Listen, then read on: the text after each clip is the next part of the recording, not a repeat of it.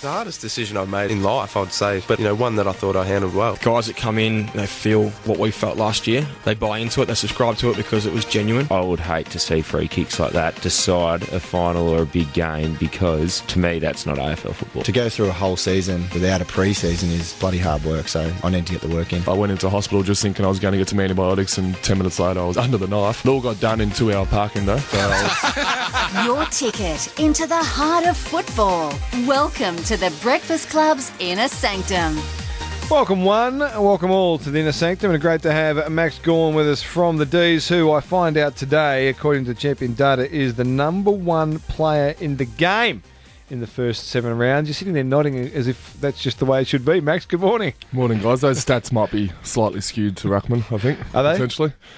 And super coach points. Too many Yeah. super coach points for hit outs. Hit outs, too many Yeah. hit outs. Well, there, no one else gets to contest a hit out, so um, there's only two people on the ground that can get that stat. Um, but I'll take it. The I'll third, take it. The third man up, or no third man up, Yeah. rules help the super coach for Ruckman, hasn't it? Yeah, I'd say so. Um, I actually didn't mind the third man up rule, but it definitely has helped. Um, it has helped Ruckman in terms of hit out numbers. I'd be right. I'd be strutting in hard today to the footy club if I was num- the number one player in the in the game. Yeah, we started at six thirty. I'm just going to walk in at walk in at eight well, after after after I finish here. It's amazing how, in all seriousness, it's amazing how quickly things change. You know, you came in here what, four or five weeks ago, and we're talking about how you were being targeted by opposition and all this sort of thing, and the next thing you read the paper and you're the number one ranked player in the competition again. Do you It reckon goes I've, up and down like a yo-yo. do you reckon I've worked my way through being targeted, or they've stopped targeting me? Oh, they- I reckon they've been a bit soft on you. you, reckon, you I should go harder?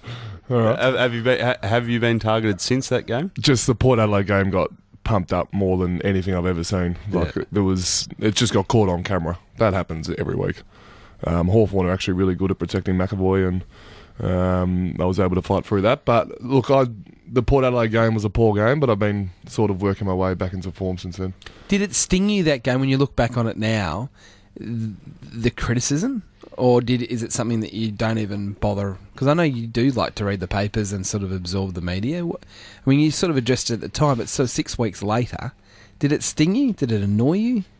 Not really. It's amazing how much a bad game is career over with a lot of people. Um, nah, it, it didn't really affect me to be honest. And I was that excited to go out and play in Geelong because I love playing down at Skilled Stadium or whatever it's called. Um, GMHBA. GMHBA is that what it is?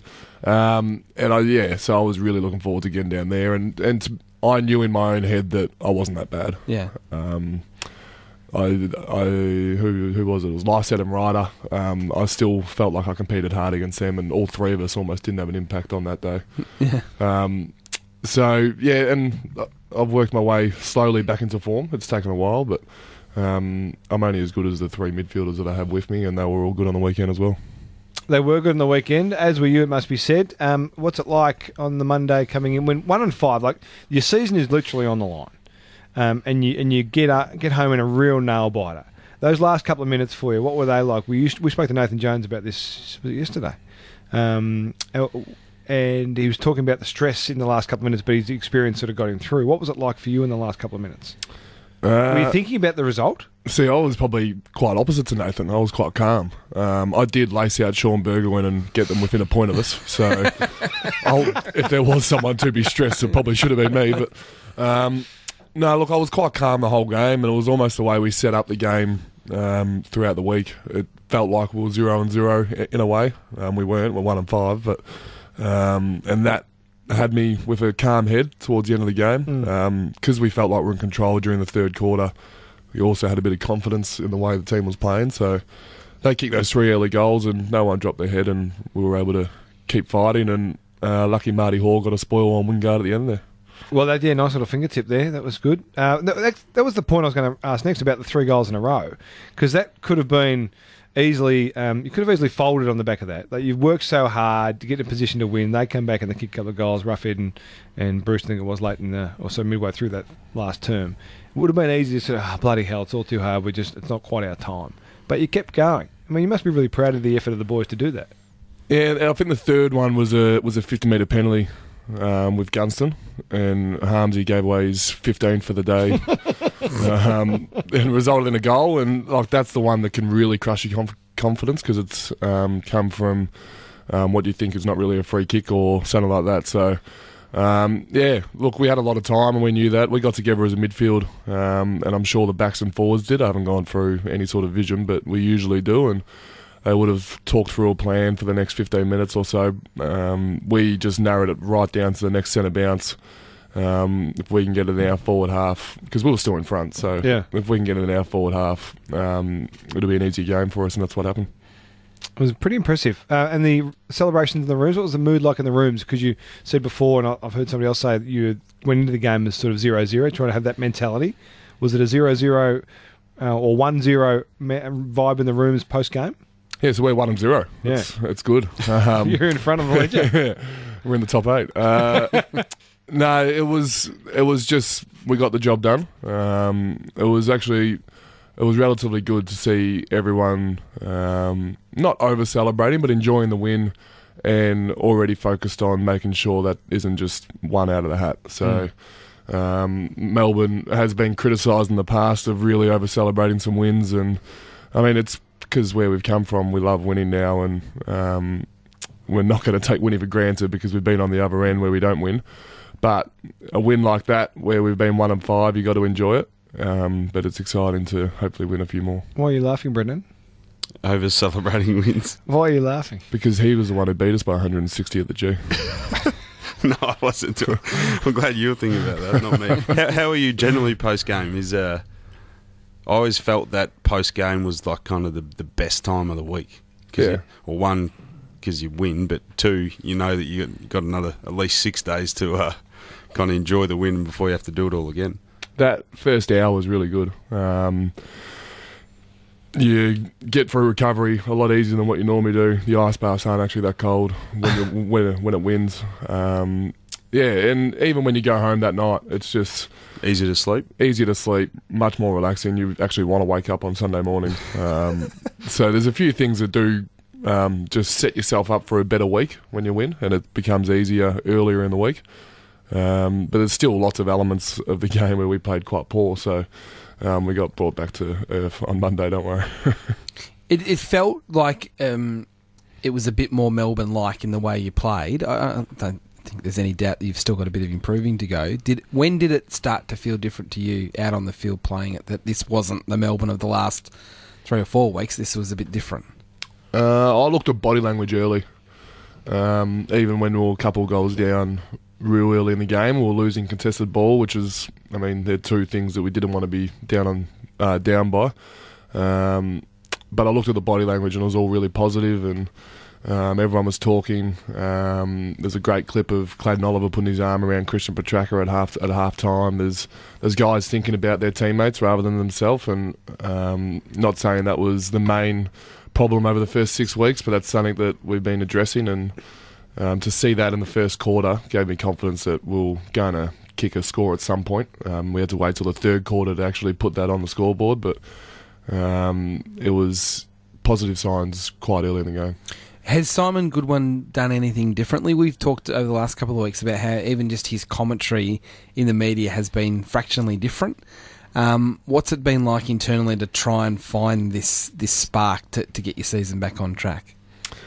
Um, oh, I mean, it's a great question. I don't think we just got given some sprinkle dust from the from Coles and was able to was able to play better. Um, there is a, a lot of things coaches do to say that one was the one thing that got us back into a winning team. Um, would be a big call, but uh, look, the ten days off really helped um, to refresh. Well, it was four days off from the club, but ten days in between games, and um, that four days off really refreshed us. And the first day back, we were down at Casey, which we haven't been at for a while, and um, it was just a great vibe down there. Um, being able to train not on the busiest in, uh, in, intersection in Melbourne, being just in your own little pocket was was quite handy. So. Um, there was a few things that happened probably throughout that week, and um, it led us. But even going into the Richmond game, we changed a few things up as well, even though there was only three days in between games. But um, so it's been a relatively positive place to be the last sort of two weeks. the role of James Harmes. Oh, I'm intrigued by how he's been used in the start of this season, and considering how well he performed last season, particularly as that sort of run run with, um, but also like Cameron Ling used to get a lot of the ball himself. His role on Jaeger O'Meara after quarter time was phenomenal, or probably wins, wins you the game. Um, in in the short summary, is it something we'll see more of him back in that role again? Do you think? Because he's been a bit more attacking uh, as opposed to negating playing off. It seems just watching from afar. Is that a fair assessment of what's happened with James and his role? Um, yeah, that's relatively fair. There's been a few times where he's been chucked on a player and it hasn't worked. Um, he probably hates me saying that, but there is. Uh, we've tried it a few times this year to get it back to where he was um, at the end of last year, and Yep. um, either it hasn't worked out or he's put in a really good effort, but the players still got numbers, and um, so it hasn't really been seen. But internally, he's highly rated as one of our better defensive mid- midfielders, and um, when Jaeger was on fire, there was no second question if it was going to be Jonesy or Clayton or Angus or was Harmsy straight away. And um, he did the job, and I mean, he gets the ball himself, which is a great quality to have as someone who's um, so defensively minded in the, in the middle, and he kicked the winning goal as well, which is um, something taggers don't tend to do. So um, he probably doesn't call himself a tagger, and we don't as well. He's he, he's someone who who just plays on a, um, well, this is probably slamming the rest of the midfielders, but someone who actually plays on a man and um, and Oh, then it's team defensive. It's team defense. and then works in the other way. The so most accountable midfielder. I love when a midfielder says they get tagged. I said, well, every other player gets uh-huh. gets played on. So, um, Rui used to say this. "I- I'm a forward. I get tagged every week. You, you bloody sook. So just deal with it. um, Fair point. yeah, but that really close attention is something to hard is hard to deal with, and Harmes is really good at that. Now I'm going to give you some stats. Oh, I do love a stat. This Stat is, man. This is really good stuff. I'll be Uh, judge of that. So no, it is. You'll you'll be impressed by this. Righto. Jaeger O'Meara to Yes. quarter time had Oh, 11 yes. disposals and a goal. At quarter time, James Harmes went to him. After quarter time, Jaeger O'Meara eight disposals. James, that's for the rest of the game. Mhm. James Harmes 27 disposals. Contested possessions after quarter time. O'Meara 4, James Harmes 14. Mm-hmm. Meters gained after quarter time. O'Meara 35, James Harmes 436. Inside 50s after quarter time. O'Meara 1, I think we get James Harmes 8. I think we get the point. It's going to be difficult for him to get too Take much. that for data. That's right. That's compelling stats. Well, I don't think we can argue that uh, James had the better of Jaeger on that occasion. He's very, very good. Well, I think he won the game from. Yeah, I agree with you. He had a really good weekend, James, and he also had a great video with the fan as well, Jono. Um, Ah, yes. It just shows the kind of person he is, and he gets the best out of his footy, and um, he's a wonderful person as well. Nice to hear. 20 past seven. You're a wonderful man yourself. Stay with us, Max. Uh, the Inner Sanctum guest from the Demons, Big Max Gawn, with us today. We'll take a break, come back, and talk some more on The Breakfast Club. Exclusive access behind closed doors. The Breakfast Club's inner sanctum. We look at a lot of different measures, and, and Lewis has been executing his role to the level that we'd expect. I find it, you know, difficult to swallow um, that, that people would even question that, particularly you know with his standing in the game. 23 past seven on The Breakfast Club. You're in the Inner Sanctum of the Melbourne Football Club. Max Gawn, the number one player in the competition, according to the champion data, is our man. And that was Nathan Jones, co captain of the Dees, supporting Jordan Lewis, who's come under some criticism and some fire for his form of recent weeks. Lewis affected by that, Max? Difficult to swallow is a big term, isn't it? From Jonesy, makes it sound like a lot worse than it is. Um, no, it's not affecting Jordan. Um, it's a it's a bit weird the commentary. Um, I understand majority of people get it um, late in their careers, and um, Lewis is copping it now, but um, he's not getting 33 playing in the midfield, but he's doing his role at half back, and that's all we ask from him. He's turned over a couple by foot, which he admits is not up to his standards, but he's contested the ball and he still defends his man. Is um, is getting his role done, so we're pretty happy with him in there at the moment. You amazing. ja- sorry, you go. You It's go. just amazing how they changed from one week to the other. A couple of weeks ago, was his well, it's- of course, the first thing everyone talks about is speed, and he can't defend now, and then so then he misses a few kicks, and now now he, oh, he can't kick. His decision making's now like it's extraordinary. It's just it's oh, it's laughable. I'm a bit biased, but I think Jordan's probably one of the best field kicks in the competition. Why are you So, biased? so he makes a couple of mistakes, so all of a sudden he's, he can't kick anymore. Well, that's what I'm saying. I hmm. don't subscribe to that theory. Yeah, yeah, no, but no, but, just- it, but it's like it's like all the the champion players. They get judged on the bar of when they're at their absolute best, as opposed to what they can still contribute to the team. Or what they- they're still doing well. Yeah, that's right. Everyone wants to focus on. I'm not saying it's right, but that's what happens. I don't think it's just Jordan. I think it's all of them fall into that category. Yeah.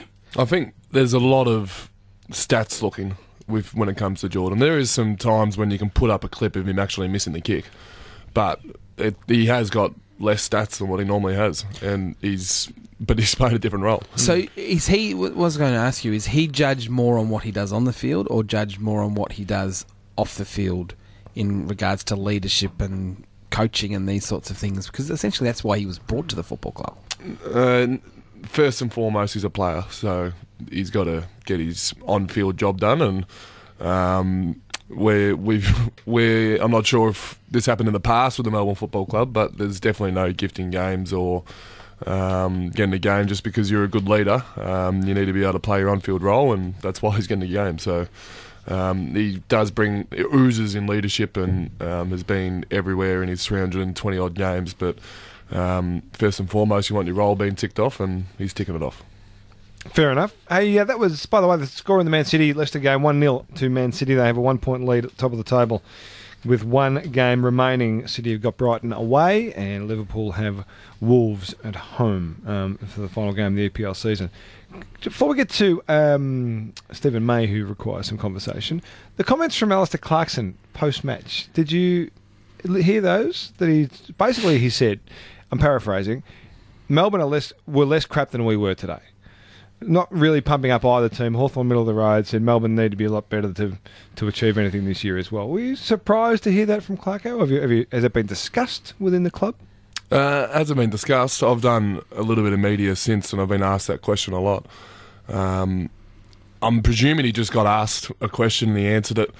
Um, he might. I'm not sure the question, but it might have had Melbourne in the in the in the actual question, and he's answered the question um, like that, and that's where the grabs come from. But um, I'm not going to speak about Hawthorn. Like, um, I'm only going to speak about our club. And when you going on the semi final last year, we won in the real messy game. Yep. Um, so we knew it was going to be a messy game, and that's what it turned out to be.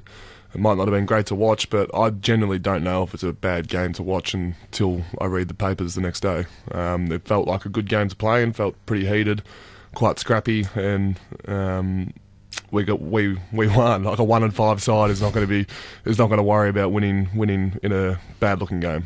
Doesn't matter how you win, you just need to win. Correct. Yep. Interesting. Well, let's go Steven May because he's um, in headlines last night. Story broken on Fox Sports that uh, he will be fronting the players and apologising for a Sunday sesh type activity with some mates um, whilst being in rehab. When did you, were you first alerted to this information, Max?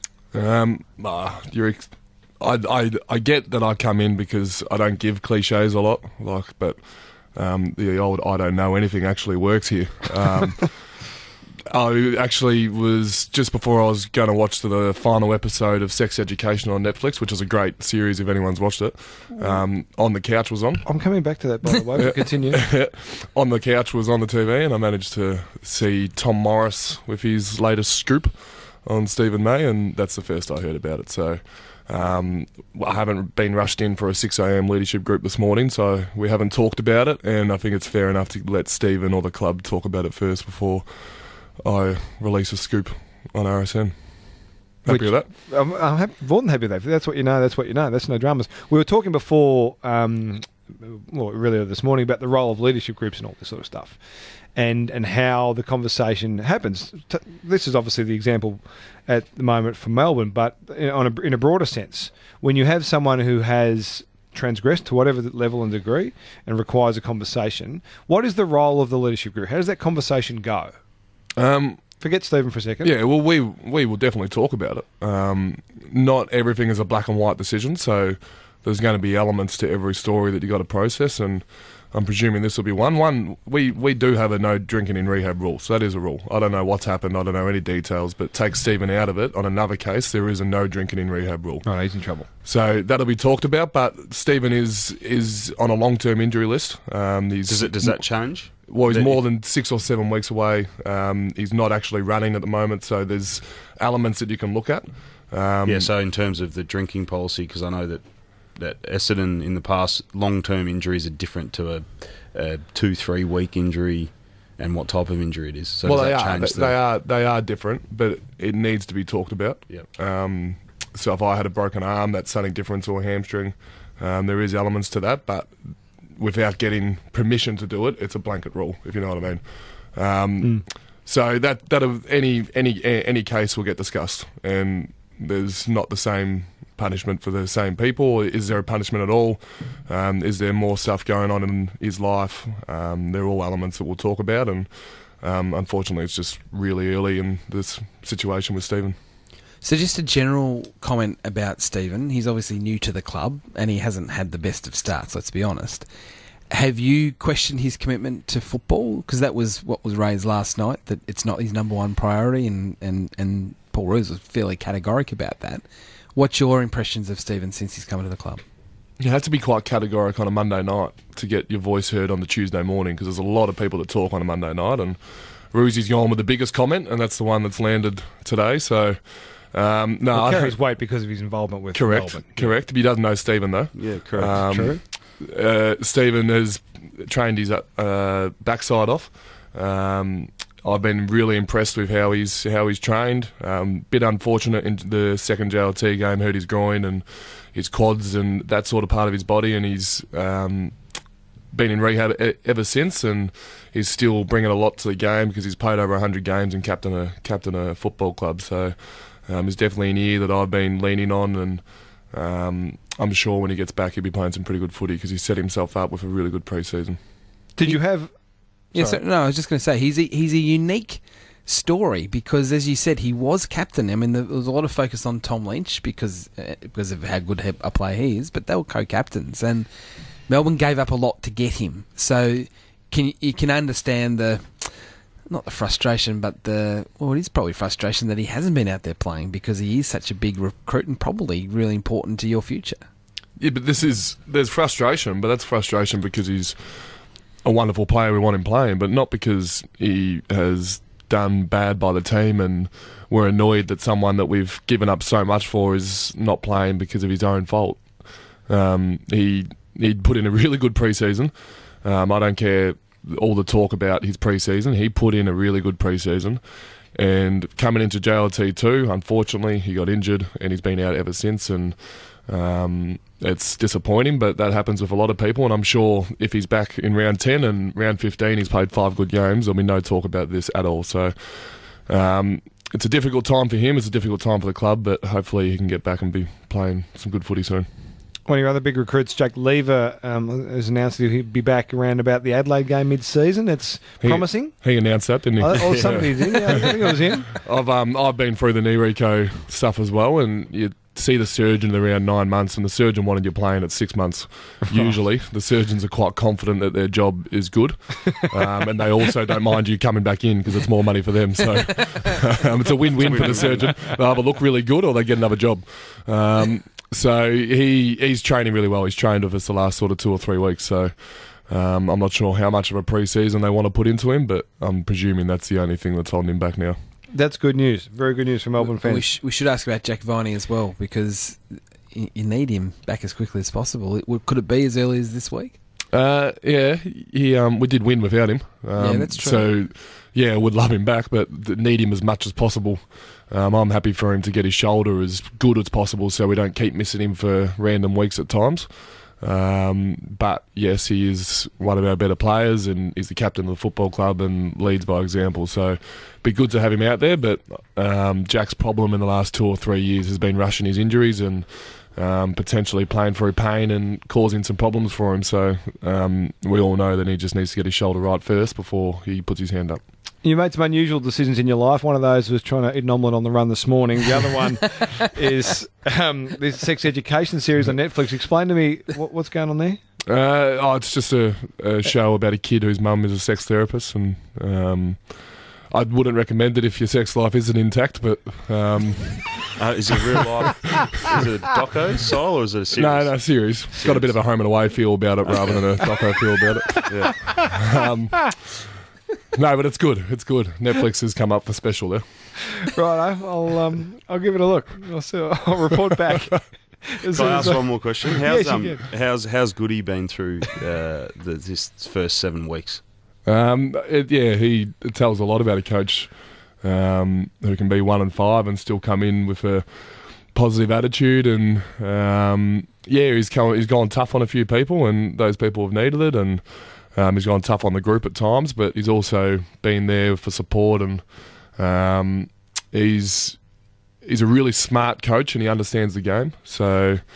Um, we have a lot of faith in him that he'll get it right and we'll get it right. And um, it seems to have worked on the weekend, but once again, we got to keep backing it up. But he's just had a he's had a really good six or seven weeks. And, and sorry, last one. And then how's my other mate Craig Jennings going in his uh, opposition? Yeah, he's good. Um, he uh, there's a it's funny. Jeno thinks he's going to be the next senior coach somewhere, and um, he uh, his opposition stuff's very funny, and I mean uh, very informative, and he's very smart, isn't he? He's just a weird, weird, weird, Weird, man. weird, Yeah. smart or good? Like yeah, He understands the game. Yeah. Um, he's lateral thinker. yeah, lateral thinker. That's exactly what he is. But he um, he's a very handy person to have. Especially you as an appreciate us coach. talking about him on radio this morning too. And he presses good press for Jeno. Bit of the head wobbles. Well, we'll get him next to the goodie in the box on uh, Saturday at Metricon Stadium. Make sure he gets some real prime time coverage. That's what we're after. Go and enjoy the sunshine, Max. We're nice to chat. We'll look forward to another Demons victory on the weekend. Thanks, boys. Max Gawn, the best player in the competition according to the champion data. He's our man on the inner sanctum from the Dees on the Breakfast Club. 24 to 8. Scotty Gallen will join us after this.